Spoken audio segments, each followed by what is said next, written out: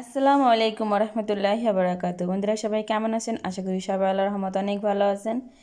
আমিও আলহামদুলিল্লাহ আল্লাহর রহমতে অনেক ভালো আছি। আকি কিচেন উইথ ভিলেজ আপনাদের সবাইকে স্বাগত জানিয়ে শুরু করেছি আজকে নতুন আরও একটি রেসিপি তো আজকে আমি রান্না করব দেশি মুরগি, এটা হলো দেশি মোরগ। তো এখানে আমি যা যা লাগবে, আগে আমি পেঁয়াজ, রসুন এগুলো সব কেটে মানে মশলাপাতি সব গুছিয়ে নেওয়া হয়েছে। পরে মা মুরগিটা কেটে দিল, এখন আমি রান্না করতে চলে যাব। কড়াইতে আমি দিয়ে দেবো পরিমাণ মতো তেল। তেল দেওয়ার পর এখানে আমি দিয়ে দেবো পেঁয়াজ কুচি। তো আমি দিয়ে যেহেতু দেশি মুরগি, এটা আমি একটু বেশি পরিমাণে পেঁয়াজ দেব। কোনো রকম কোনো আলু টালু কোনো কিছু দিব না, সেজন্য বেশি পরিমাণে পেঁয়াজ কুচিটা দিলাম। এরপর আমি পেঁয়াজ কুচিটাকে হালকা বাদামি কালার পর্যন্ত ভাজবো।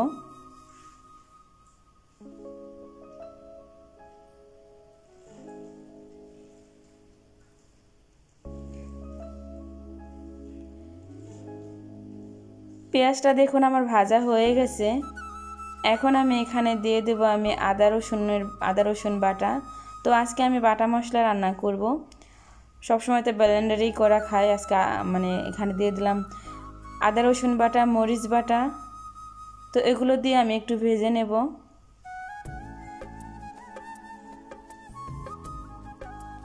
যেহেতু বাটা মশলা, এটার গায়ে একটু পানি থাকে, তো এটা খুব সুন্দর করে একটু ভেজে নেব। যাতে কাঁচা গন্ধটা না থাকে। দেখুন আমার ভাজা হয়ে গেছে, এখন আমি দিয়ে দিলাম এখানে একটু পানি। পানিটা দেওয়ার পর এখানে আমি দিয়ে দেব, দিব এক এক করে শুকনো উপকরণগুলো।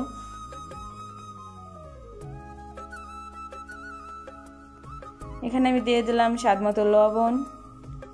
তো লবণের মাপ তো আমরা বলতে পারব না, যার যতটুকু লাগবে ততটুকুই পছন্দ অনুযায়ী। তো এখানে দিয়ে দিলাম আমি দেড় চা চামচ হলুদের গুঁড়া। আরও দিয়ে দেবো আমি এখানে দেড় চা চামচ মরিচের গুঁড়াও। আপনারা আপনার ঝালটা আপনাদের অনুযায়ী দিবেন, ঝাল যে যেমন খান।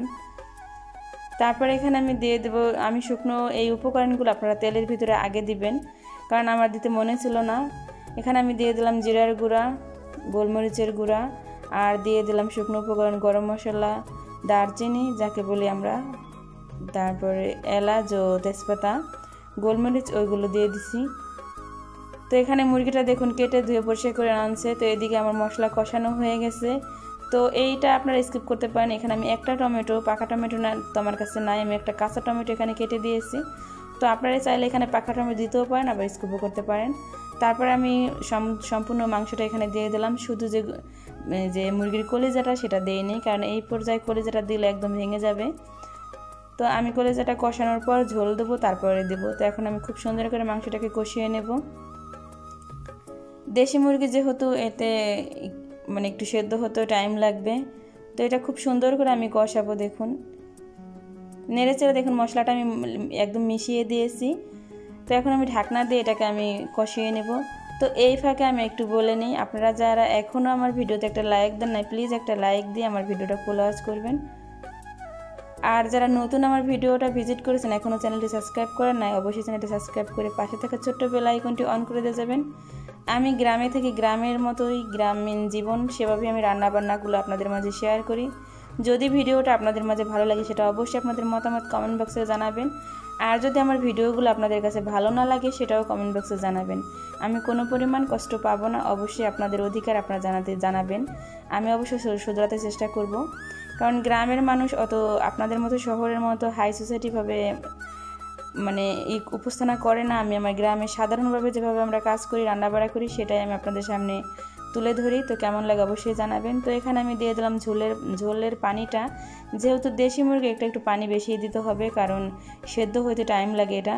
তো এ পর্যায়ে আমি সেই মুরগির কলিজাটা মানে মুরগির কলিজাটা দিয়ে দিলাম।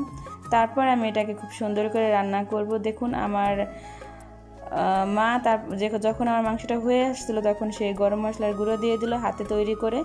তো ফাইনালি দেখুন রান্নাটা রেডি হয়ে গেছে। ফোনে হয়তো কালারটা একটু ডিফারেন্ট মানে দেখা যাচ্ছে। এটা কিন্তু কালার টমেটো, কাঁচা টমেটো দেওয়ার কারণে হয়তো এরকম হালকা হয়ে গেছে, কিন্তু খেতে কিন্তু ভীষণ পরিমাণের মজা হয়েছিল। দেশি মুরগি সবসময় তো খেতে অনেক টেস্টি হয়, আমরা সবাই জানি। দেশি মুরগির ঝোলটাও অনেক টেস্টি তো আমরা বেশি পরিমাণ ঝোল রাখি নাই। আমাদের ফ্যামিলিতে এমনি সংখ্যা কম, তারপরে আমরা এমনি তো ঝোল কম রাখি সব কিছুতেই তো বন্ধুরা, ভিডিওটি কেমন লাগল অবশ্যই কমেন্টস করে জানাবেন। আর চ্যানেলটি সাবস্ক্রাইব করে চ্যানেলের সাথেই থাকবেন। ভালো থাকবেন, সুস্থ থাকবেন। আজকের মতো এখানেই বিদায় নেব। কথা হবে অন্য কোনো রেসিপিতে আসসালামু আলাইকুম রহমতুল্লাহ বারাকাতু আল্লাহ হাফেজ বন্ধুরা।